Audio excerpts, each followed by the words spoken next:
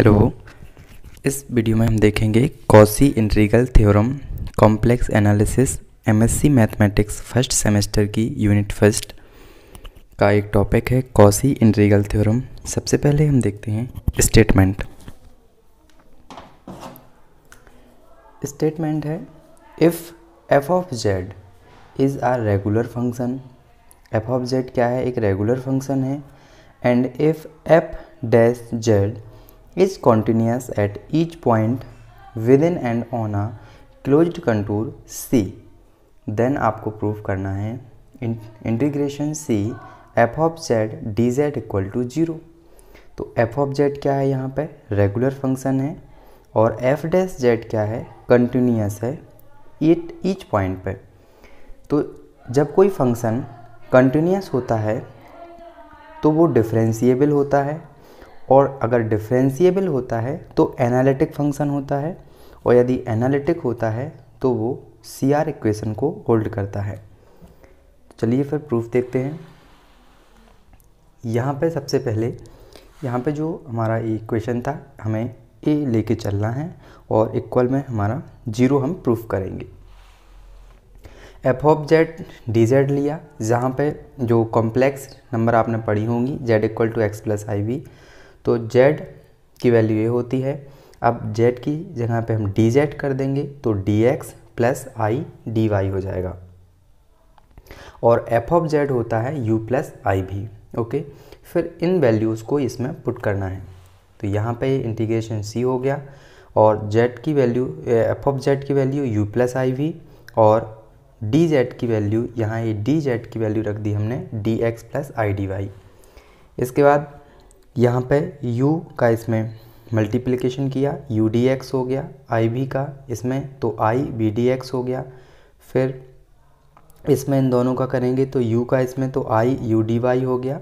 फिर i का जब i तो आई स्क्वायर और a हो जाएगा वी डी वाई अब चूँकि हम जानते हैं आई स्क्वायर माइनस वन होता है, यानी जो i की वैल्यू होती है, जो i की वैल्यू होती है, वो क्या होती है? रूट वन तो इस हिसाब से इसको यदि हम स्क्वायर करेंगे तो माइनस वन आएगा।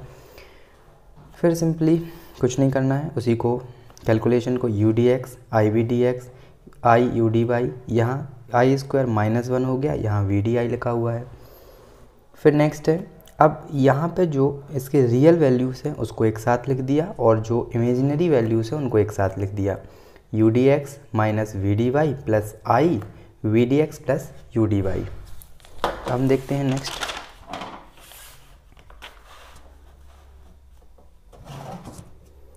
वही फ़ंक्शन है यहाँ पे।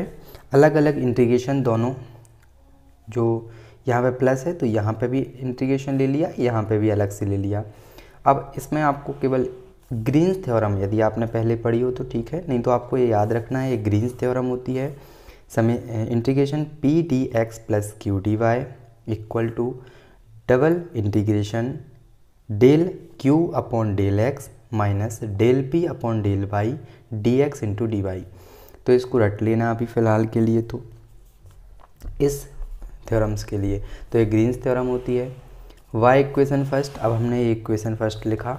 और देखो, यहाँ पे डी एक्स है, ये डी एक्स है। तो जो ये यू है, वो पी के बराबर हो जाएगा। और ये जो क्यू है यहाँ पे माइनस बी के इक्वल है। फिर डी वाई है। देखो यहाँ पी डी है इससे हमें इसको कंपेयर करना है तो डी एक्स पी की वैल्यू यू और क्यू की वैल्यू माइनस भी ऐसे ही यहाँ पे हो जाएगा। तो क्या करना है? इस वाला फ़ंक्शन देखो यहाँ पे ये फ़ंक्शन दिख रहा है, इस वाले फ़ंक्शन को हमें इस रूप में कन्वर्ट करना है। ऐसे ही यहाँ पे ये फ़ंक्शन है तो इसको हमें इस रूप में कन्वर्ट करना है।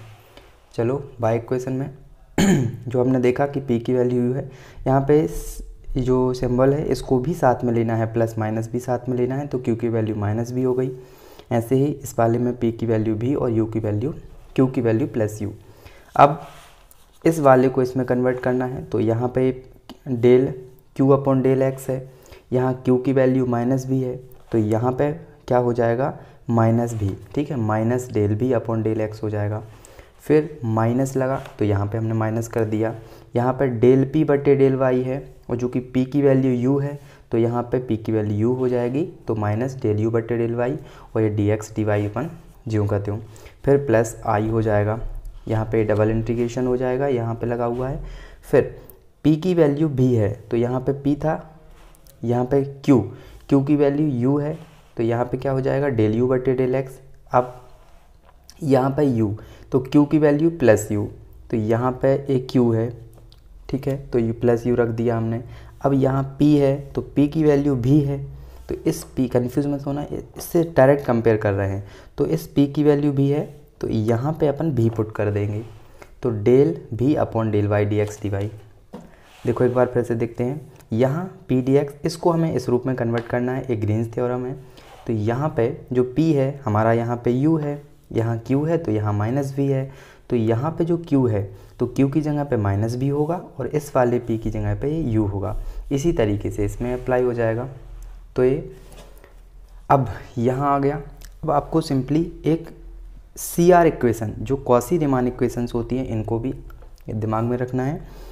पढ़ी होगी आपने ए डेल यू बटे डेल एक्स इक्वल होता है डेल भी बटे डेल वाई और del u upon del y equal होता है minus del v upon del x तो यहाँ पे सी आर इक्वेशंस होती हैं। मतलब del u upon del x del v बटे डेल वाई और del u upon del y minus del v बटे डेल एक्स इनको याद करो। अब जो इक्वेशन एस टू है, इसमें इनकी वैल्यू को पुट करना है। तो डेल यू बटे डेल एक्स की वैल्यू कहाँ पे है? ये डेल भी बटे डेल वाई है। तो यहाँ पे है डेल यू बटे डेल एक्स तो इसकी वैल्यू हो जाएगी डेल भी बटे डेल वाई यहाँ पे ये रख दिया। डेल यू बटे डेल वाई यहाँ पे है डेल यू बटे डेल वाई तो इसकी वैल्यू माइनस डेल वी बटे डेल एक्स रख देंगे यहाँ पे। तो ये माइनस का माइनस का यहाँ पे प्लस हो जाएगा, और इस तरीके से वैल्यू रख दी। अब माइनस डेल बी बटे del x plus del v बटे del x zero plus i, और डेल बी बटे del y minus del b बटे डेल वाई ज़ीरो। तो zero plus i zero zero हो गया, और जो प्रूफ करना था वो प्रूफ हो गया। Integration C, f of z d z equal to g z. तो ये हो गई हमारी कॉसी इंट्रीगल थ्योरम।